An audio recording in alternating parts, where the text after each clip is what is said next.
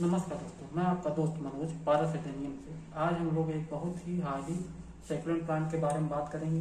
ये बहुत ही सुंदर और लो केयर प्लांट है। इस, इसमें आपको बहुत सारे फूलों के रंगों का ऑप्शन मिल जाता है। यह जो प्लांट आप देख रहे हैं, इसको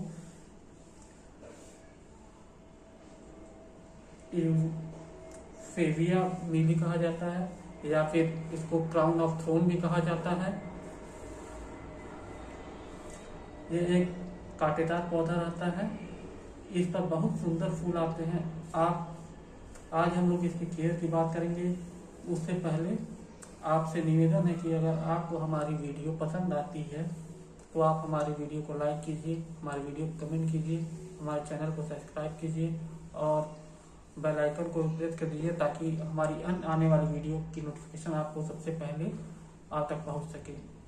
तो चलिए, अब बात करते हैं इस पौधे की केयर के बारे में, इसके रख रखाव के बारे में।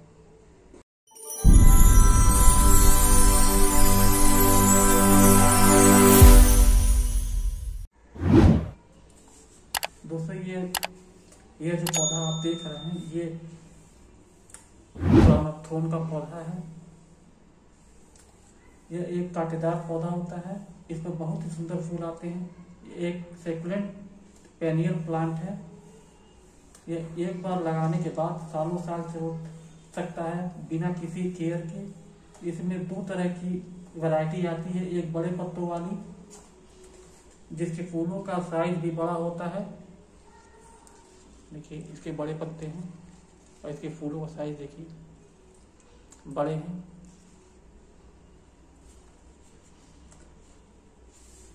बड़ा होता है और एक मिनिएचर वैरायटी आती है। ये देखिए, ये मिनिएचर वैरायटी है। इसके फूलों का साइज़ देखिए छोटे छोटे हैं और इसके पत्तों का साइज़ देखिए, ये भी छोटे हैं।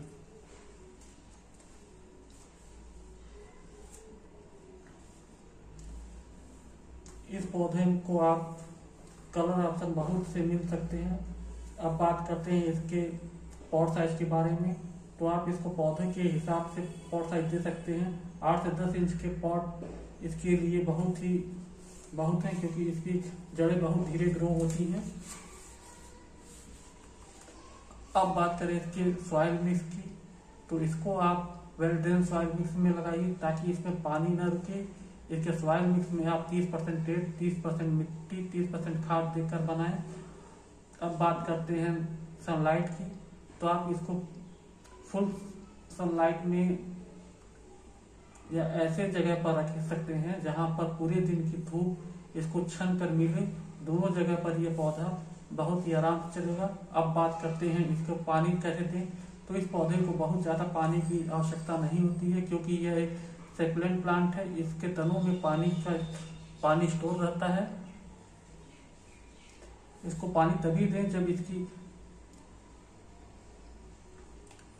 ऊपर की मट्टी की लेयर चार इंच तक सूख जाए।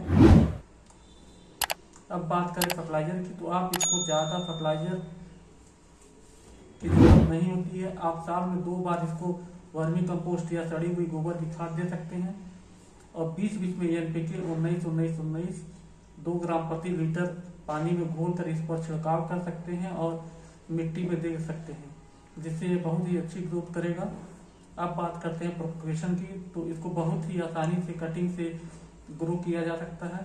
इसकी छोटी से छो, छोटी से बड़ी सभी कटिंग ग्रो हो जाती है। इसकी कटिंग ग्रो करते समय बस यह ध्यान रखते रखें कि इसकी कटिंग को पहले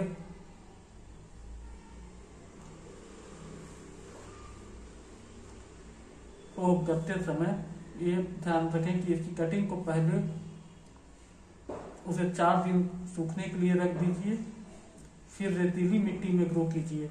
और कटिंग लगाने के बाद आप यह ध्यान रखना है कि कट, इसकी कटिंग को धूप में ही रखना है। छायादार जगह पर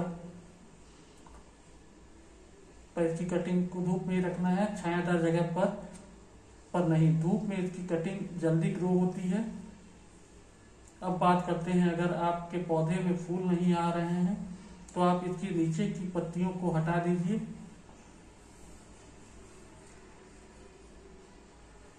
या आधे पर से काट दीजिए, जिससे इसमें नई ग्रोथ शुरू हो जाएगी और आपके पौधों पर फूल आने लगेंगे। या तो आप ऊपर से इसको ट्रिम कर दीजिए या पिंच कर दीजिए। ऐसे ये है, यहाँ से इसको आप पिंच कर देंगे तो नई ग्रोथ चालू हो जाएँगी और नई नई सूट्स आएँगी तो उसमें फ्लावरिंग आएँगे। या तो इन पत्तों को यहाँ पे से आधे पे से काट दीजिए, या फिर इस तरह कर करेंगे तो ये टूट जाएँगे। इस तरह नीचे के पत्तों को तोड़ दीजिए तो इसमें नई नई ग्रोथें चालू हो जाएँगी और आपके प्लांट में फ्लावरिंग चालू हो जाएगी।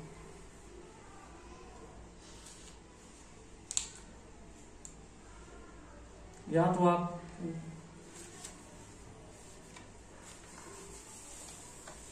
बस इन कुछ छोटी छोटी बातों का आप ध्यान रखिए।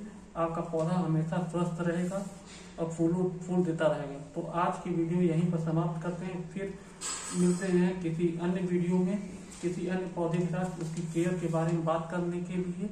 तब तक के लिए अलविदा दोस्तों, हैप्पी गार्डनिंग